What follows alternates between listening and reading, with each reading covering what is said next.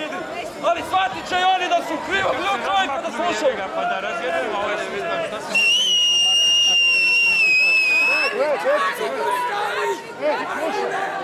Imaju hlači, imaju hlači.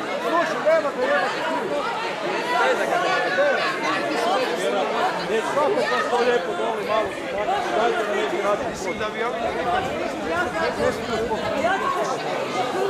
Ajmo i samo gledat u oči,